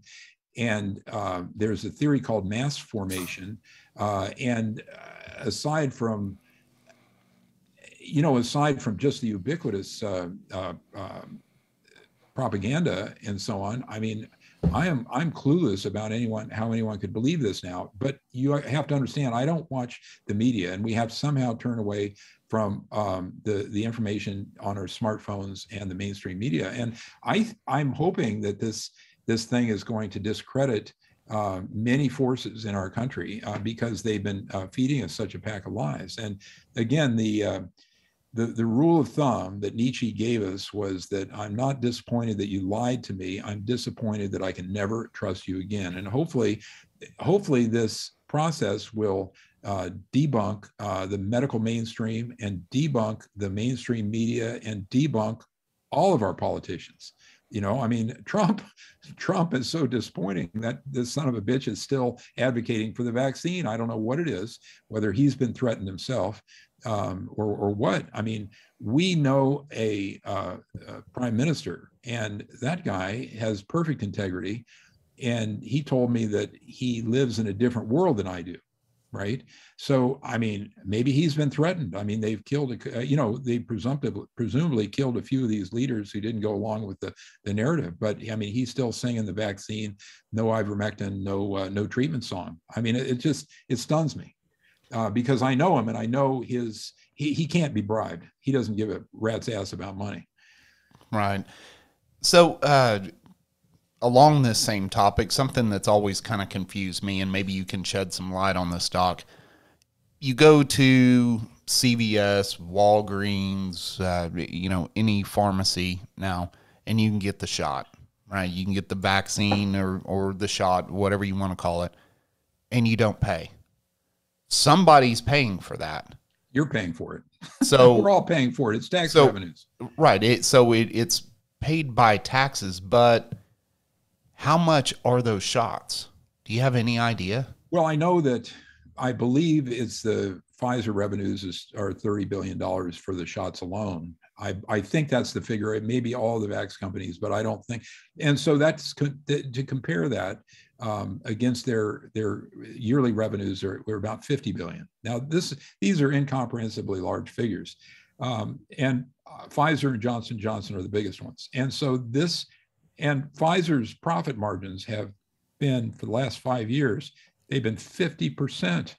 And so this is a badge of some sort of duckery no industry has a 50% uh, profit margin, and except for occasionally software companies will, but five years in a row, and they get all their revenues from essentially federal and insurance company funding. You know, it's all it's all paid for. So, and uh, Max, you can look that up. Just say Pfizer's uh, revenues recently. This year, Pfizer's, I don't know what they are, but they're probably 75% in view of this infusion. It might be 85% in view, view of this infusion of cash. I mean, it's just, it's insane. It gives them, it gives these companies the ability to buy and sell our Congress. They don't completely buy and sell all the state legislatures, but I mean, they must be getting close. I mean, they, they basically, uh, you know, they certainly seem like they buy and sell the tech industry, or at least the tech industry has common uh, owners that uh, and they all sit on each other's boards. I mean, it's a, it's an insanely incestuous situation, and the centralization of the money worldwide is makes us vulnerable to central control. And if these people have Marxist ideas, they they they can promulgate this stuff in a very effective way, as we've seen. So, I mean, it's it's it's a crazy situation. And but I think I think we've got a chance and we have to fight. There's no other there's no other way. There's no other path. I mean, it's not if somebody is shooting at you, uh, you've got to you've got to pull out your gun and shoot back. Uh, otherwise, you're going to get killed. Yeah. Now, Robert, could you explain um, the whole variant thing? Because it seems like each time we're getting used to living with one particular variant, a new one comes along. And I quickly just wanted to read you a headline which I read a couple of days ago. And it says uh, French scientists detect another variant linked to travel to Cameroon and says it carries 46 mutations that may make it more vaccine resistant and infectious. So, what's the deal with all these variants? Because uh, I've yet to kind of read about a vaccine which has been bypassed, its kind of firewall has been demolished by just a slight variation. Because surely they should have seen this coming. You know, if they follow the history of the flu vaccine, that the flu vaccine is effective for about two weeks uh, prior to it being pushed out. And then by the time it's among the general populace, it's out of date. And it seems we're going the same way with COVID in that every every time they need a little bit more fear porn, another variant appears on the scene. And with, you know, Omicron, which is mild cold like symptoms in most people, it seems now in a lot of countries, especially in Europe and in Australia and New Zealand, that they've gone even further in the overreach in terms of lockdowns, mask mandates for something which has actually been widely reported as being less severe and maybe the answer to herd immunity. So please explain about the variants, how these variants occur, and will it lead to it becoming almost harmless, or is there a risk of That's, it turning bad? I, have got a new career for you. Yeah, and that is you can. I'm, Trist- up- I'm Tristan, by the way. The wall. I'm sorry. he's Max. You know, he's got he's got you've got your uh, your name tags reversed. Yeah. Um, so I've got a new career for you, and that is you should apply to a medical school to become one of their test creators. because you can you can you can effectively create multi-part questions. And if any part of it's wrong then they they miss the answer. Oh so you should you should see my multiple choice questions yeah, uh, unanswerable. I, I, was going to say though that sounds like a lot of work it does for sound you. like a lot of work yeah. for me turning so, up. my first question is and i'm going to answer a question starting starting with a question is why are you reading this duckery. Why are you reading this garbage? Um, because um, I spend four to eight hours a day reading Substacks that are is the, the, the the exactly what's going on, and I can refer you got your listeners to a list of them. If they can stand to enter this stuff, they can they can read this stuff all the time, and it's the truth, and it's the exact cutting edge of what's going on. But this this whole thing about the horrible, you know, fear mongering, and uh, you know, it's part of the disease mongering process of these pharmaceutical companies. This thing was obviously written by a shill and of one kind or another. So the answer to what the heck is going on with the variants, and that's that's your real question, is is the following. Um, although Omicron may be an exception, it's pretty much you're pretty much immune indefinitely. You get this cellular immunity from getting any form of COVID. And I was frankly relieved when I got COVID, even though I was sick for three weeks recently.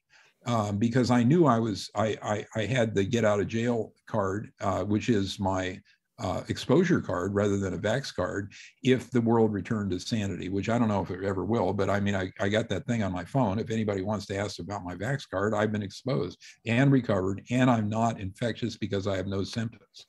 So, uh, what's going on is that um,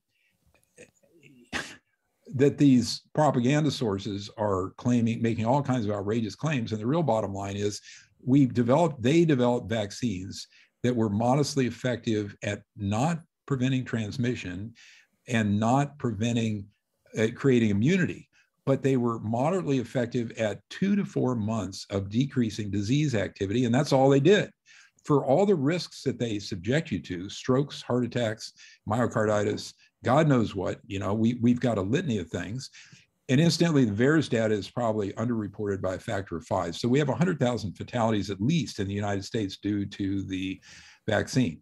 Um, so you, what you got was you got a temporary uh, decrease in disease activity. If you happen to catch COVID, the, the more severe variants like Delta or Alpha, if you happen to catch COVID within two to four months, otherwise the thing had essentially no efficacy at all. And you subjected yourself to this horrible risk in order to produce this two to four. And that's there, there, there, thereon lies the story of the uh, boosters, the obscene story of the boosters.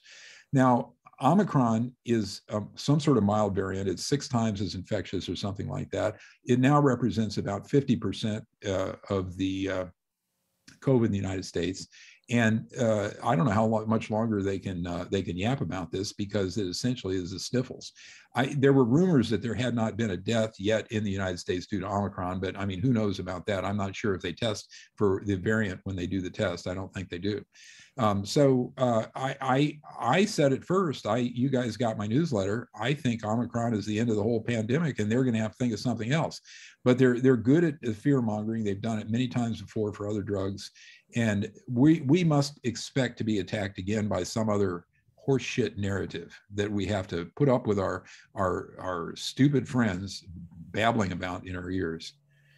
Well, what a perfect segue because I, I my next question literally it this sounds like this is scripted, but let's say that Omicron or Omicron, or however you say it, is the end of this, and you alluded to the fact that there's probably something coming next.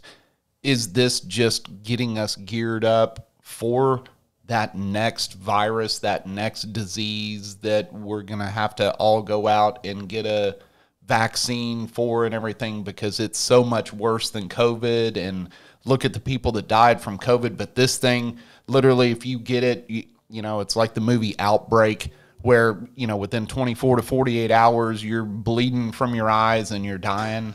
Uh, you know, it, do you see that, Doc? I mean, do you see that this is just kind of training us for the next horrible pandemic?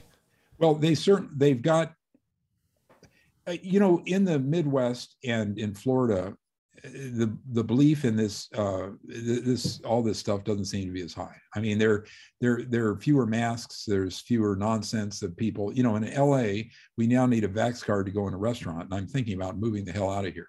Uh, but hey, uh, it, normally we wouldn't say this, but Doc, you are welcome in Texas. Okay. Uh, we we really don't like all the Californians coming over here, but you know what? You're our kind of people, Doc. So you are more than welcome to come to Texas it's either Texas or Florida, and I think Florida's got a stronger governor. Um, but you know, I, I don't know. Be that as it may, um, the answer is that uh, you know I've been trained not to predict the future. If you really are into a specialty field, sometimes you can predict the future. You can you can give good. Um, uh, give, but I don't think necessarily. I mean, these guys have at least a third of the population conditioned, and they basically are scared you know, S-less. Yeah. You can uh, say shitless. That's okay, yeah, Doc. They're basically scared shitless about everything. And uh, they're a friend. I'm going to offer a little lighter commentary, if you don't mind, if I divert. I, I have a friend who was a rock climber, and he was a fabulous athlete, and he would climb things without a rope. And his motto was, "Almost everything scares me these days." so that's become the motto of a third of the country. Almost everything scares them these days. And they're, they're not joking about it. Everything does scare them. So the, the attack could easily be some sort of, uh, you know, bring down the power grid in a quarter of the country.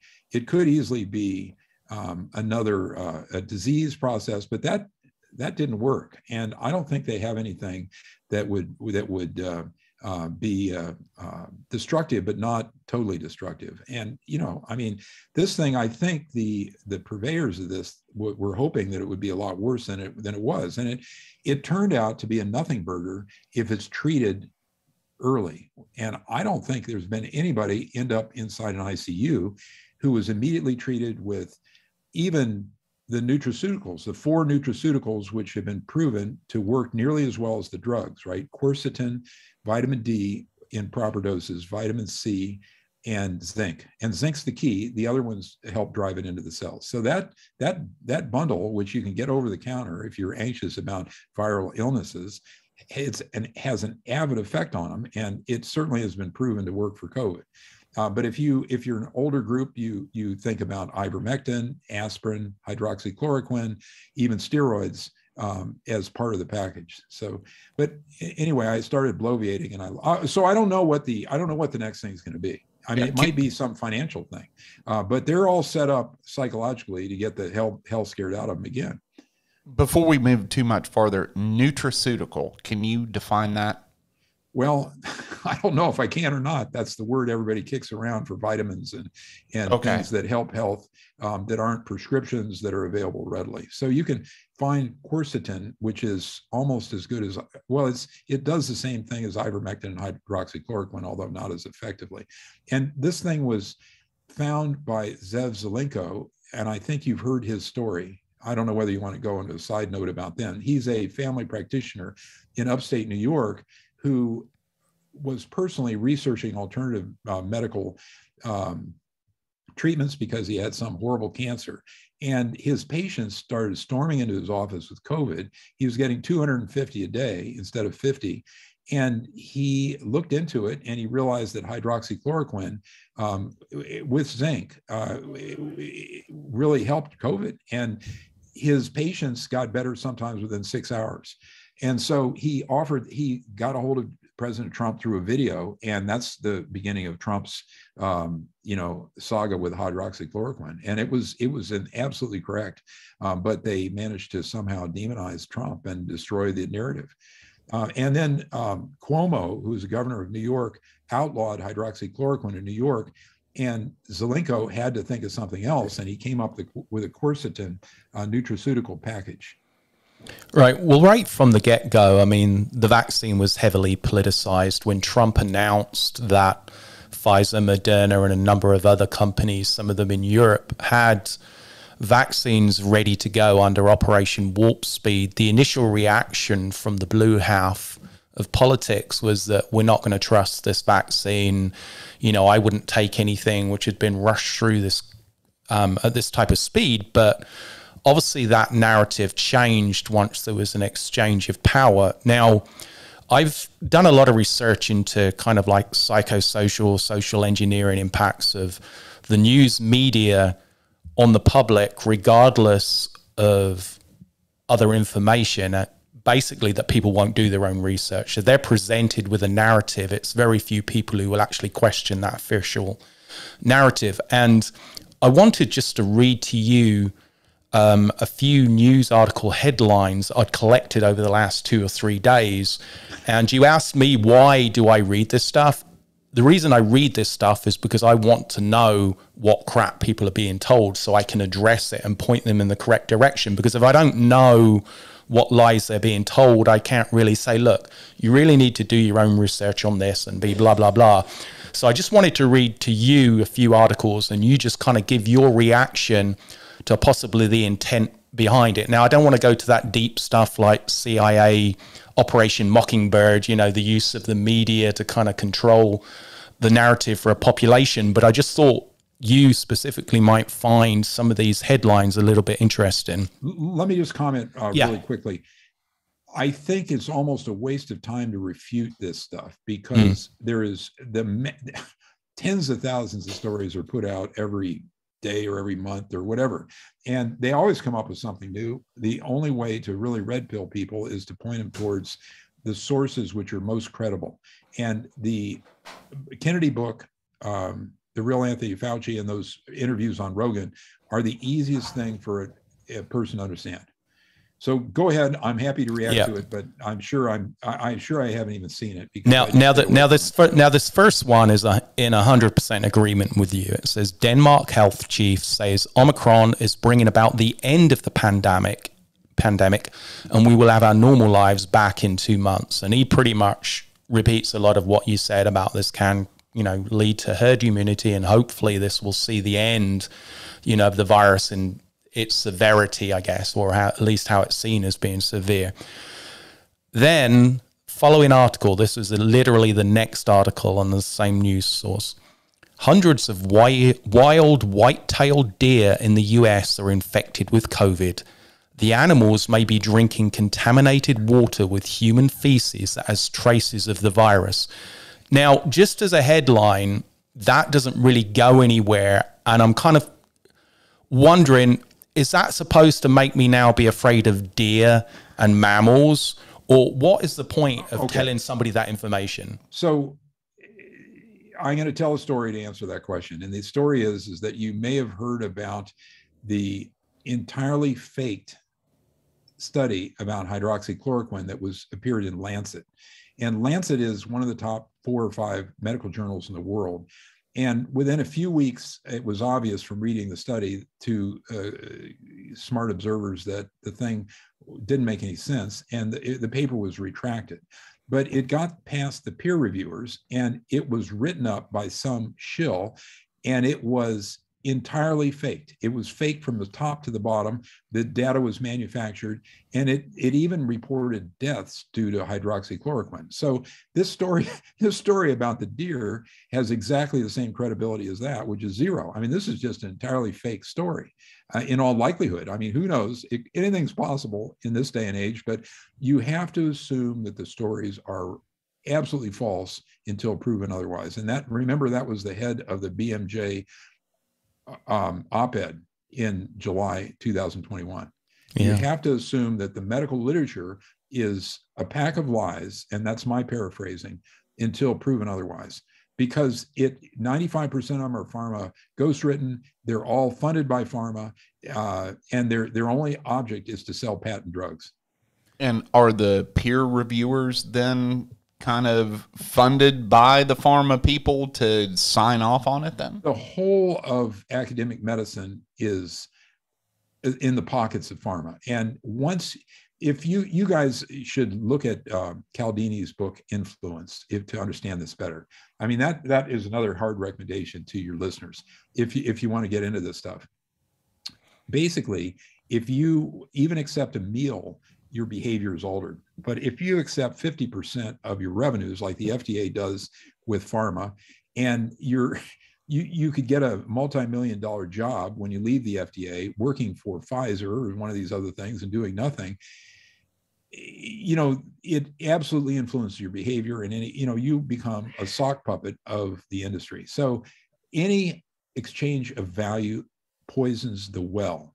That's the way it works and these guys a lot of times they they could be seduced by a drug rep not maybe physically but um, the drug reps use the the the th- three f's right friendship uh, food and i forget what the other one is but sometimes they use the fourth f you know what the fourth f is I thought the third F was going to be fornication. Yeah, yeah, that's that's what it is. Only I use a cruder word. Oh. But uh, but I forget. There's a third F that's uh, traditional, and then the fourth F is uh, they they occasionally use that. But but any exchange of value poisons the well. And it, it, these these that story was whole in all likelihood is wholly fabricated and just like the the Lancet article, which was it's just an outrage that anybody that they it was accepted for publication, and and like you say, the um, the reviewers, the peer reviewers are afraid to step out of line, and they they get this stuff and rubber stamp it.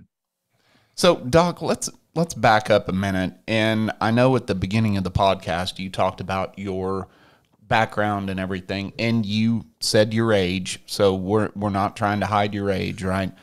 How old were you when you became a doctor? How many years ago was well, that? The traditional thing is uh, you go through four years of undergrad. You're 21 when you uh, graduate from undergraduate school, and then four years later, you get your MD degree. I took two more years because I went rock climbing for two years. Gotcha. it was okay. great. Nothing so wrong with that. 30. Yeah, yeah, yeah. Okay, so so can I say 30 years ago, roughly, you became a doctor? Uh, 38 years ago. Okay, 38. Let let's round up and and no offense, let's call it 40 years ago. Doc, 40 years ago when you became a doctor, was this stuff going on? Or no. is this something no. that has just all of a sudden came to fruition? It, it's not all of a sudden. Uh, really, the worst of it is in the last 20 years. And the friends of mine who graduated from medical school 20 years ago recognized a very barren landscape research landscape and the smart ones understood you couldn't believe much of what was being said and i mean basically they were industry narratives and it's gotten worse and worse and worse. And this i never thought i would see a drug as bad as these vaccines get promoted so avidly by industry. I've seen you know there are things like the statins uh, which uh, essentially they're they, they they work almost for no one. And there's a narrow groups they work for but we we got like the, the gross revenues for those are like 70 billion dollars a year or some crazy thing and they're at one point they were the most profitable drugs in history of course covid vaccines have eclipsed that um, and then we we've got other drugs that don't work we've got surgeries that don't work um, you know, clearly demonstrated not to work, like the endoscopic knee surgery. And they've got sham surgery studies on that, where they take a open, make an incision and don't do the surgery. And then in other patients, they do the surgery and they see, they follow the patients long term and see how they do.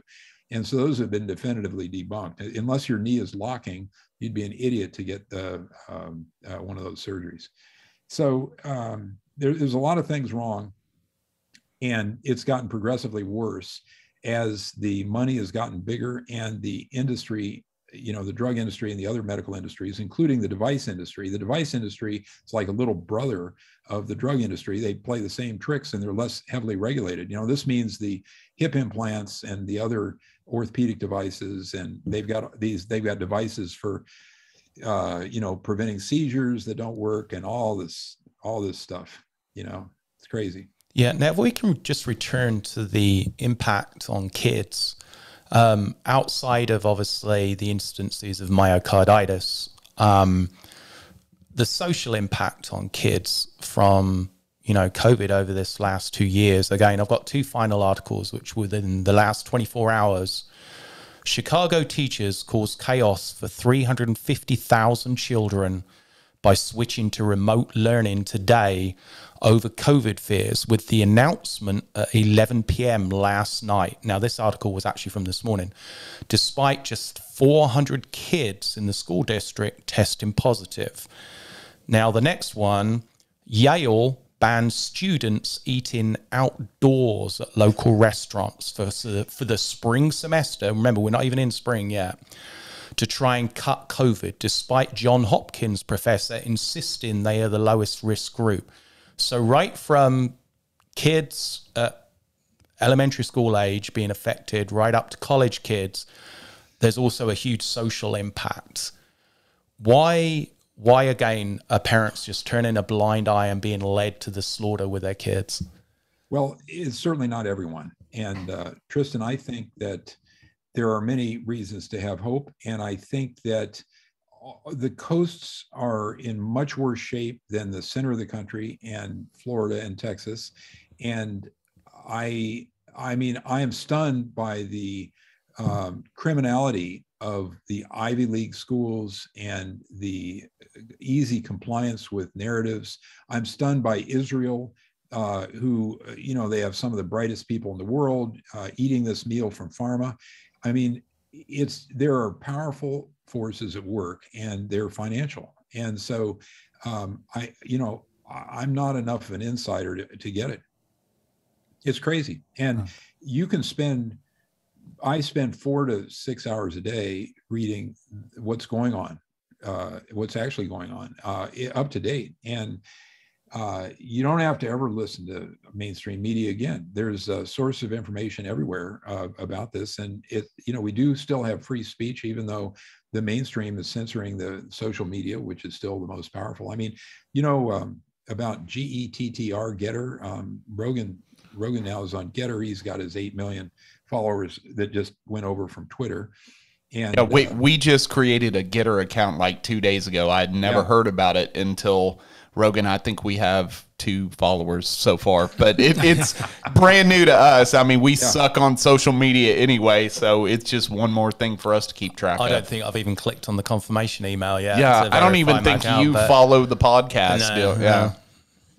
Well, I, you know, I'm 68, so what do I know about social media? And by the time I understood all this, I'd never, I'd never have a, you know, I've got a Facebook account that I haven't looked at in, uh, I don't know how many years, at least 10 years, five, 10 years. Um, and uh, I, I, you know, my kids are all on Instagram, but, uh, you know, you can't, can't rely on these people. I, I throw uh, videos up on uh, uh, BitChute and uh, Rumble when I when they get censored, you know, off of uh, YouTube. And I, yeah. I, do these podcasts all the time, and I just tell them to send me the videos, and I'll put them up. Sometimes they put them up. Yeah, I have a feeling this won't last long on YouTube, and that's fine with us. Uh, my last question for you, Doc, and by the way, thank you for taking so much time out of your day to talk my to pleasure. us. Uh, it it really it, we really appreciate that. But we've talked several times in here about fighting back. You know, you use the alligator analogy, things like that. How do we fight back? Well, we have to stand up. And, you know, we're all small animals in the Great War, but every, even a hobbit can do something. And you, you've got to, you've got to make your views clear. And I, I haven't uh, offered anyone political views, but my views are clear about censorship, um, Marxism and uh, the uh, fraudulent vaccine and the fraudulent suppression of the therapies, right? And so, and I've done my best. I'm just going to tell you what I've done to sort of give you an idea. It's not hard to get on podcasts. You can go to matchmaker.fm if you've got any kind of thing to say, and you can get on other people's podcasts. And I am seeing a turning and there are a lot of people interested in the anti-COVID, anti-vax method, method now. Before, uh, even at two or three months ago, I was having a lot of people just tell me to go to hell, that uh, that I was crazy. Um, and uh, but now people are getting interested, and once they are red pilled about what's going on, they're not going to turn back to the matrix because they can see what's going on. And so you have to try to convince people one on one, not not be afraid of your quote friends unquote leaving because those people weren't your friends to begin with, and you'll discover a whole new um, set of people who are uh, like-minded and who want uh, want the country to continue. They want uh, the, the, nonsense to end. They'd like uh, people like Fauci, who's a career career criminal, brought to justice. and uh, and uh, so I've I've discovered a whole new network of people, and uh, you know I've had three of my friends die, and one of them had a massive stroke, probably due to the jab in the last year. I mean, he he's another one of these athlete cases. He did a 513 climb. We have him on YouTube the day before, and he had this massive stroke that turned him into a golden retriever the day after. You know, he can't talk, and we can't talk to him very effectively. So mm-hmm. he's walking around. I mean, it's horrible. And another friend, uh, they found him blue, uh, and I and he had been jabbed because he was traveling. So I don't, you know, he's not within 24 hours of getting it, but for all I know, he was. I mean, he's getting an autopsy now in in Tucson, and I, I, I they'll send me the autopsy, and I'll have a look and see if there's massive coagulation of his blood or any other signs that he died of the vax. But most of these things aren't reported. So I stand up, tell your friends, screw the ones who don't like it. And if you can do it on the new social media, or you can develop a podcast platform. The podcasts don't seem to be censored now. Uh, make your website up, use the material that, that I send you, and uh, um, just do your best because we we can't we can't give up because we're we're uh, they're going to kill us. Um, well, I hate to hear that about your friends. Uh, so our yeah. sympathies are with you there. It happens just when you're just, 68. Well, yeah, that's true. That's true. Yeah, but uh, for for the record, you know, just just so everybody's clear, we were always a fan when we initially talked to you. So you didn't have to convince us. So we, you know, we we we were already on your side, and you didn't have to talk us into that. But I can see what you're saying. I mean, there are plenty of people out there that you've got to sit there and try and convince and all that. So Doc, as we close, can you just give us kind of a little rehash how to find you, how to find out more information about you, where to find your books, all that good stuff? Robert Yoho author is dot .com is my website. My my books are on Amazon. These are again, these are modest sellers. They sell about 20 copies a day, and I don't make a dime. Yeah, and by the way, Doc, yeah, I mean we, we got them here, yeah, dude. Yeah, we we've got your books here. We've we've had them in the background, but you know what? Our our camera still kind of sucks. It's better than our last one, but yeah, we've had them here in the background. And and of the less than 35 books I've read in my life, I've read both your books. So and and I've got a podcast which I had 500 downloads last week and I couldn't believe it. I don't know how that happened. It seems to SEO itself. And some of it, I read articles with permission written by other people. And I now read Mercola's articles sometimes. And I recommend you guys, I, am sure you're listening to Breggin's podcast and RFK Jr.'s Children Health Defender podcast, because those are some of the absolute best. So that's that's my I, I really appreciate you letting me on. Yeah, absolutely. I mean, you're you're our resident expert. You're part of the Wolf and the Shepherd family, and we always enjoy our time together. You taught us a lot today. I'm sure we're going to have you back on and talk more about this stuff, but we've taken up way too much of your time today. So thanks so much, Doc. We certainly appreciate it. And if you're watching this on YouTube and it actually is still on YouTube, because my guess is it's probably going to be taken down or something like that, click our little logo, subscribe to our channel, and that will do it for this episode of The Wolf and the Shepherd. And we will catch you on the next one.